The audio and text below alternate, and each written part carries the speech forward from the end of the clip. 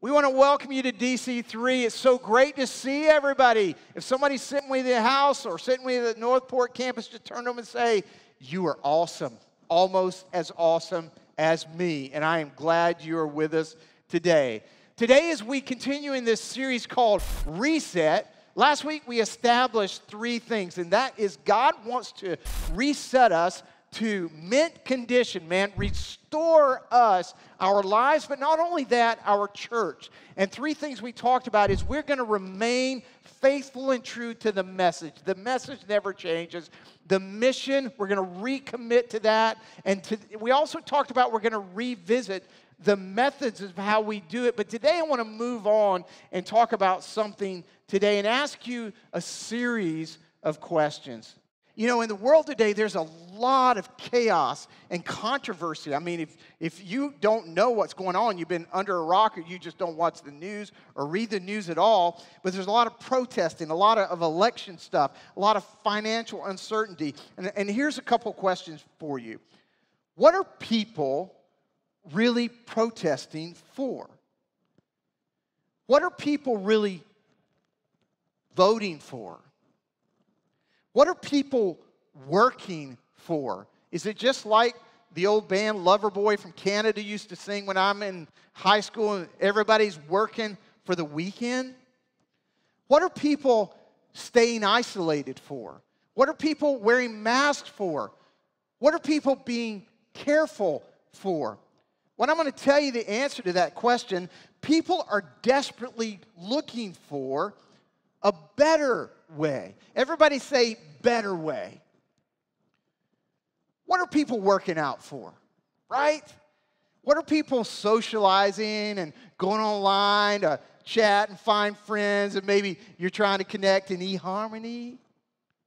What are people playing and doing recreation for? What are people moving for? I talked to a real estate agent recently that said there's a shortage of homes in our community because people are moving out of certain areas and coming here to Southwest Florida. And if you're selling, man, it's a great time to sell. And she said people are desperately looking for a better place. People are looking for a better way. What are people quitting for? What are people getting high for? What are people hurting other people for? What are people divorcing for? What are people cheating for? What are people studying for? What are people hoping for? And the answer is all the same. Say it with me. People are desperately seeking a better way. And here's, here's the point of tension for us today.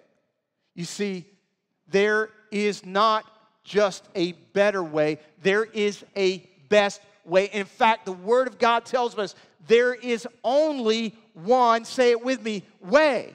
And it is Jesus Christ. So, what we are resetting to today is that we here, the Church of Jesus Christ, at DC3 and all churches, we have the way. And we must reset to reveal so Jesus can restore us, our families, our churches, our communities, our country. And here is the really hard news for those looking for that better way there is no way except for Jesus. All ways end in a dead end road without Jesus walking that path with us. But what about those people, Steve, who are doing it a different way, a different religion? No religion, no Jesus, no church. I'm going to tell you, I say this in love and not condemnation. So many people today have lost their way. So many people today have lost their way. And here's the real danger there's a lot of people in the church that think they are living the way that are lost and have lost their way. I want to give you what I call today the three R's of reset. Back in school, we called it arithmetic, reading, and writing. You know, those aren't even spelled with an R. I don't even know where they came from. I guess they just sound like an R. But I want to give you three words on reset. Week number two. Number one, say repentance, say rebellion, And lastly, say revolution. Let's say those one more time. Say it loud so your dog can hear it. Repentance, rebellion, and revolution. You might even chat right now if you're on your phone. Just, just type it into the comment. It's about repentance, emoji, rebellion, woo, sad face, mad face, revolution. Here we go. Go to Luke chapter 5. Lord, let us hear your words today.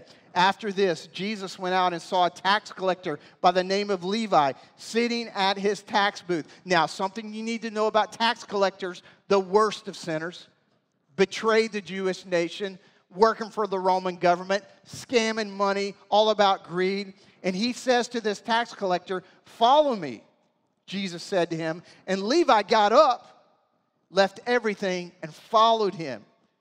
Then Levi, check this out, had a great banquet for Jesus at his house, and a large crowd of tax collectors and others were eating with them. Now, how many know tax collectors knew how to throw a wild party? I imagine at a tax collector's party, it kind of resembled what we back in college would call a frat party. If you ever seen the old movie Animal House, you shouldn't watch it. Come on, somebody. So Jesus is hanging with all these tax collectors Levi, at Levi's house, but the Pharisees and the teachers of the law who belonged to their sect complained to his disciples. Now, how many know it was such a good party that it was attracting the church people? they really wanted to be in the party, I think. The Pharisees and the teachers of the law who belonged to their sect complained to his disciples, asking, Why do you eat and drink with tax collectors and sinners? And Jesus answered them, It is not the healthy who need a doctor, but the sick. I have not come to call the righteous, but sinners to, say it with me, repentance. Now, here's the crazy thing we know as we go through the Word of God in the New Testament, as Paul wrote doctrine for us there is none righteous, no, not one. And what Jesus was subtly doing here is saying, You think you're righteous, but you're really not.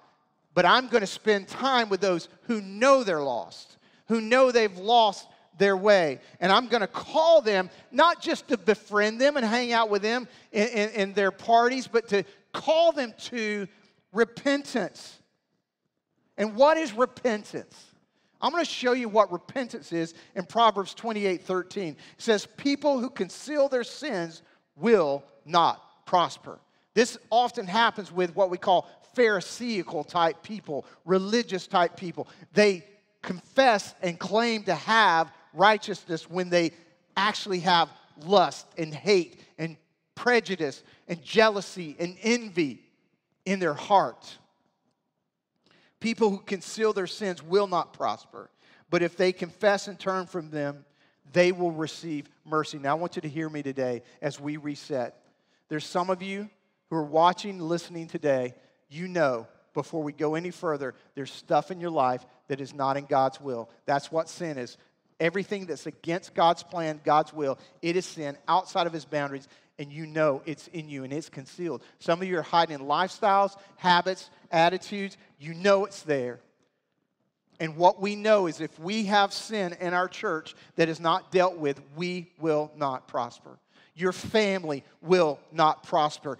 That porn addiction is going to destroy your marriage. That substance addiction will destroy your body. That prejudice that you're not confessing or being honest with yourself about people of other cultures will destroy the unity as you try to win the world and unite the world. But here's the good news. But if they confess, everybody say confess, if they confess and turn from them. It's not just enough to say, God, I got it, I'm sorry. You got to confess it and then you got to get away from it. In other versions, it says you got to forsake it. In other words, you got to go, baby, I break up with you.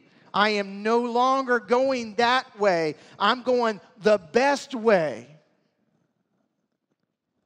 You see, what we have to do is recognize. Everybody say recognize. We have to recognize that in us is a nature, a sinful desire to be against God, to be a rebel. Everybody say rebel. Recognize the rebel and repent. You can't repent until you confess there's a rebel in me. And all of us know it if you think hard enough, if you, if you, if you just open your heart and you look at the times where you're going, man, I, those times when I did bad things, when I, when I say bad things, when I'm hateful, when I'm selfish, there is something in you going, don't be that, don't be that, but we just go, no.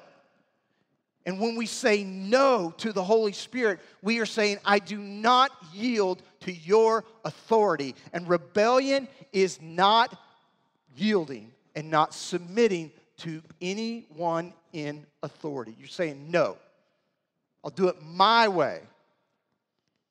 That doesn't work in God's kingdom. And this is really hard for us in America today because we're about rugged individualism and rights and freedom. But how many know life doesn't work without order and without authority? And what we're seeing right now is people struggling against a way. And they think there's a better way, but they are rebelling.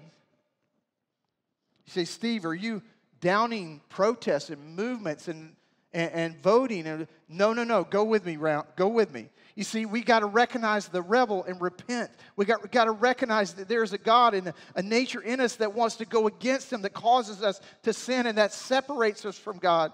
C.S. Lewis says it this way A creature revolting against a creator is revolting against the source of his own powers. He says, including even his power to revolt. He says it's like the scent of a flower trying to destroy the flower.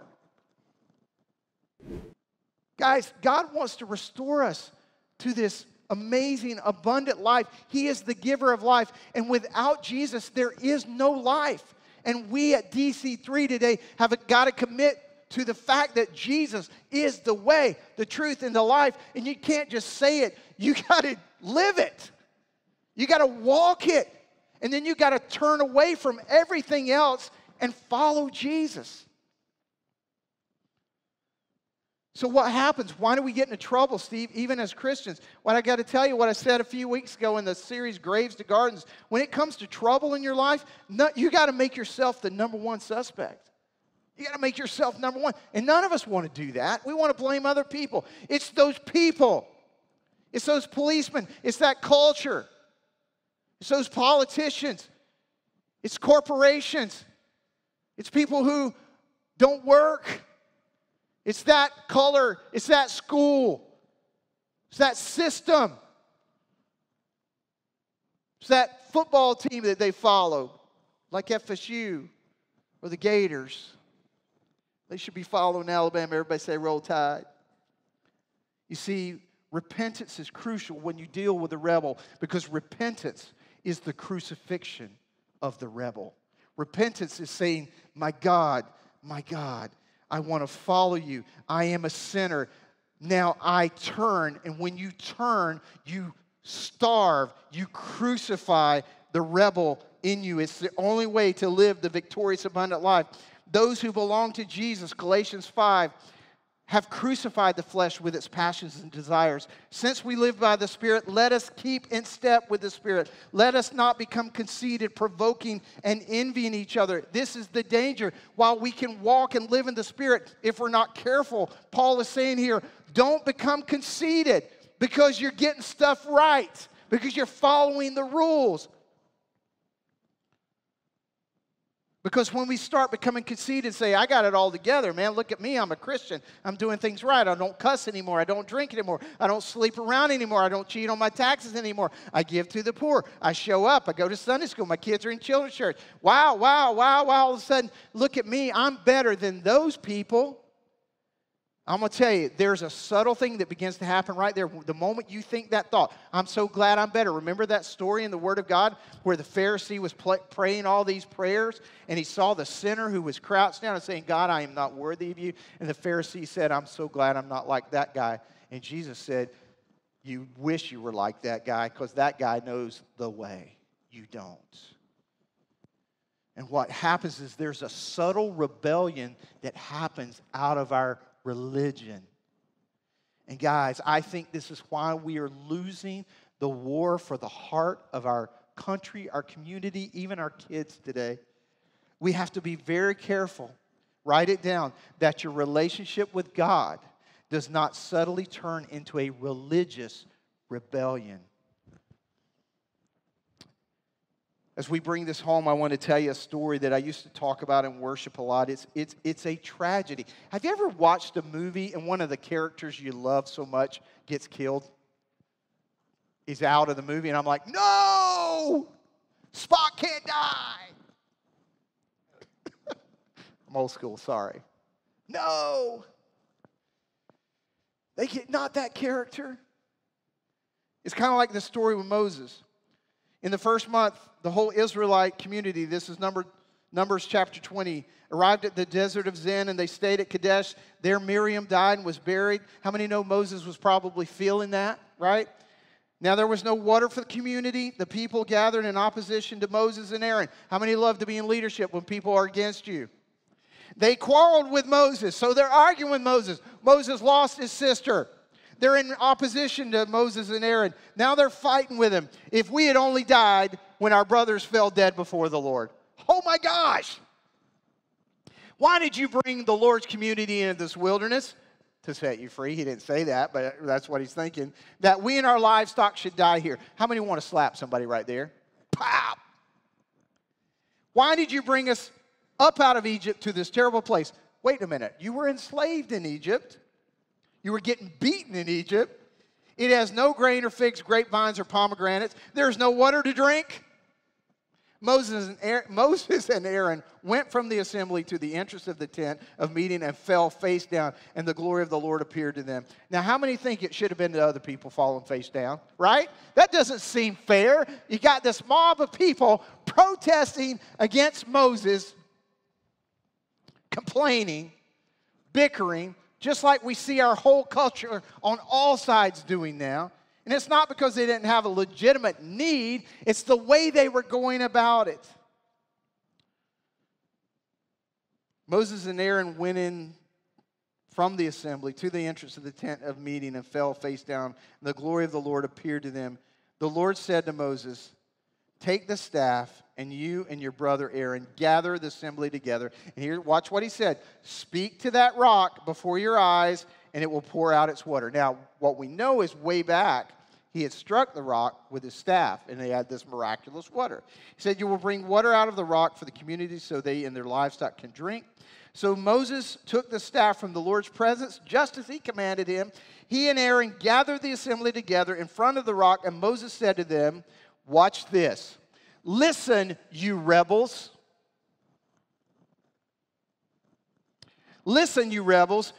Must we bring you water out of this rock? Then Moses, who was supposed to speak to the rock, raised his arm and struck the rock twice with his staff.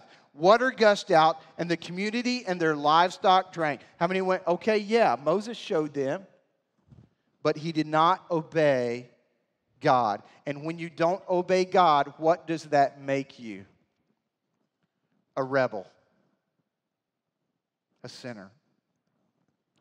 And watch what happens when sin manifests itself, is created in you. But the Lord said to Moses and Aaron, Because you did not trust in me enough to honor me as holy in the sight of the Israelites, even though we know they're griping and complaining, God said, You will not bring this community into the land I give them. Moses missed the promised land because he rebelled for a moment against God. And guys, while we live in grace, let me show you this. As Christians, we have to be very careful daily to confess our sins, not just to confess it, but to turn away from it and say, God, search my heart, search my attitude, search the fact that I may be looking at crowds, at protesters, at police, at politicians, and I may have hate in my heart, I may have rebellion in my heart when I should have revolution in my heart. You see, rebellion is about what you're against, about what you defy, where, rebel- where revolution is about what you're for. I want you to be careful that your relationship with God does not subtly turn into a religious rebellion as we take it home today with one final verse of Scripture. We see in the book of Luke that while he was still speaking, a crowd came up, and the man who was called Judas, one of the twelve, was, we lead, was leading them. He approached Jesus to kiss him. But Jesus asked him, Judas, are you betraying the Son of Man with a kiss? This is tragic. Are you rebelling against me, Judas? When Jesus' followers saw what was going to happen, they said, Lord, should we strike with our swords? Should we get the mob? Should we strike them? And one of them even struck the servant of the high priest, cutting off his right ear. But Jesus answered, No more of this.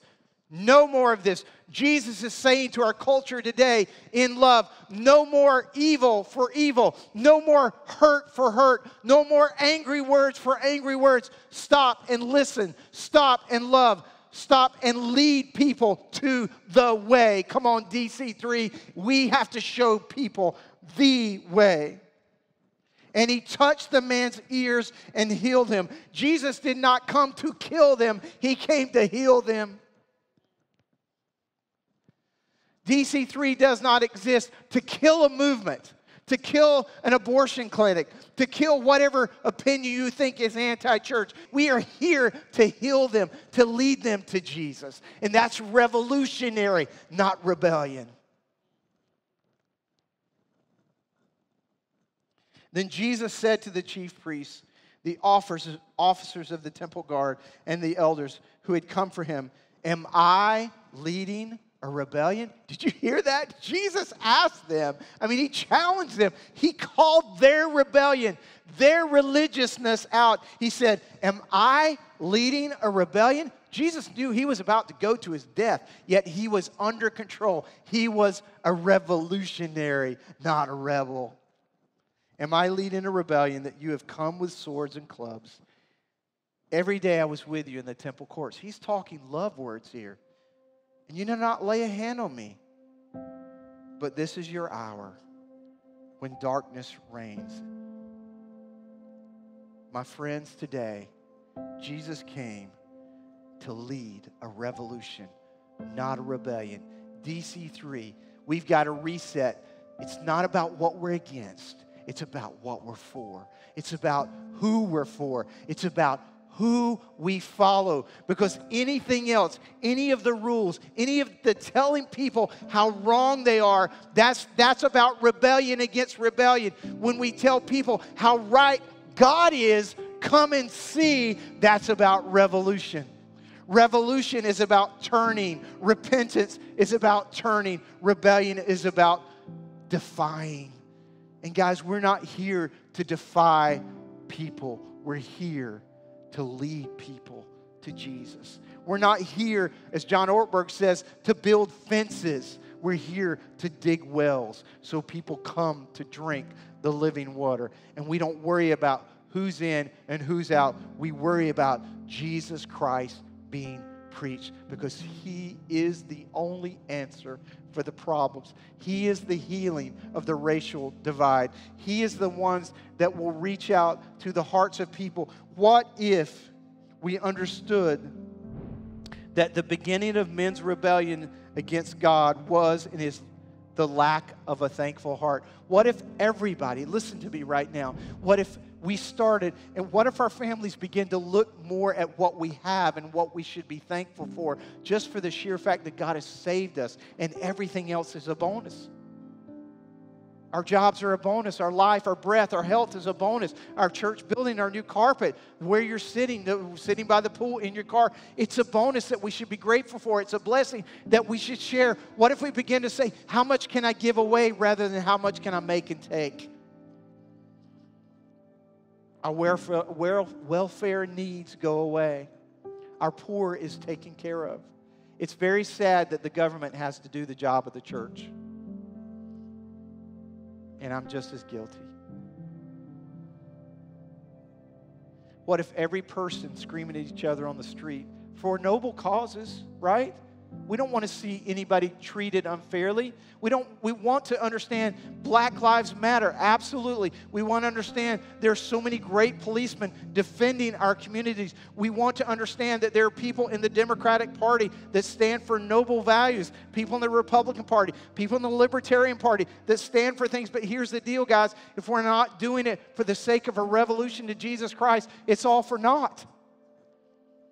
But if we can humble ourselves and go, Lord, help me to treat people better than myself. Let me live like you did and make myself a servant. How many know our problems will begin to fade? We will begin to say, How can I help you? How can I understand you? How can I treat you like Jesus treated you? How can I bring value to every person, including women, children, disabled, people of different color and races, just like Jesus did all throughout his life? You see today, guys, it's not about rebellion, it's about repenting, crucifying rebellion, and becoming a revolutionary. I want to pray with everybody right now. And here's what I want you to do I want you to begin to search your heart for anything that is not of God. And if you ask the Holy Spirit, He will help you see where you need to say, God, I'm sorry. And you don't just stop there. You say, God, this is my sin, and now I turn away from it. I want to repent so I can be a part of your revolution, bringing your kingdom to a dark world. And guys, I'm going to tell you again, I'm not here to stand against a movement or a protest. I, I understand why to some degree, everyone is doing what they're doing, but here's the truth. As Dr. Martin Luther King showed us, if it is not based in the love of Jesus, it is evil for evil, hurt for hurt, pain for pain, power versus power, and we do not want that. We want submission, love, mercy, kindness, compassion, the things that Jesus says is the way, the truth, and the life. So now, Jesus, start with us in the church who have been subtle religious rebels instead of loving, submissive revolutionaries. Forgive us. Have mercy on us. And Lord, for those who are sinners, who've never accepted the gift of Jesus Christ, may this be the beautiful day that they go, God, I am a sinner. I'm a rebel, and I don't want to be that guy. I don't want to be that girl anymore. Save me today. Have mercy on me. And if you confess your sin and turn, then your heart today will be transformed into something amazing. Lord, we thank you today. It's in the name of Jesus we pray. And everybody in every location said, Amen. Love you guys.